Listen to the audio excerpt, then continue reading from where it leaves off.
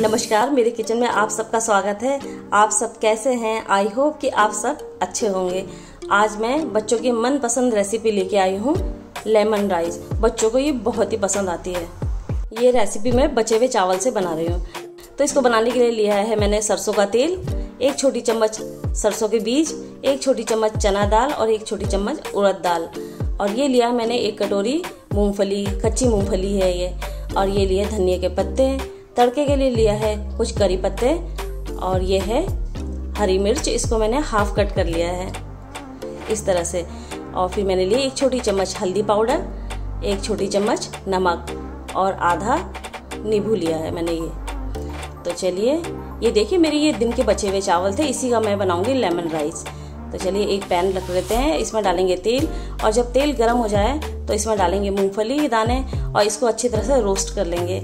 और जब ये भुन जाएँगे तो इसे हम प्लेट में निकालेंगे और फिर इसके बाद में इसके छिलके उतार लेंगे हम। तो देखिए, रोस्ट हो गए। अब इसी तेल में हम डालेंगे सरसों के दाने और जब ये अच्छी तरह से चटक जाए तो फिर इसमें हम डालेंगे चना और उड़द दाल। और इसको भी हम दो तीन सेकंड के लिए इसमें भून लेंगे और ज़्यादा हमें नहीं भूनना, नहीं तो ये बहुत ज़्यादा करारे हो जाएँगे। बस सिर्फ़ दो तीन सेकंड के लिए।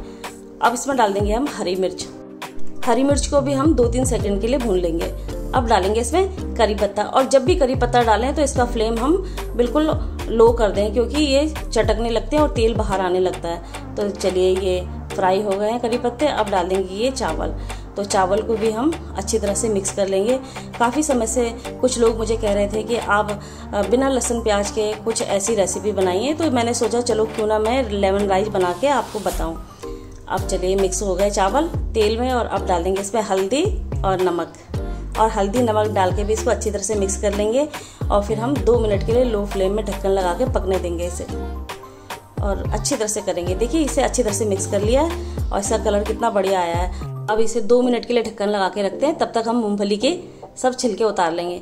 तो देखिए, दो मिनट हो गए हैं, लेमन राइस बन के तैयार हो गया है। गैस का फ्लेम आप ऑफ़ कर देंगे और फिर इसमें डालेंगे आप नींबू का रस।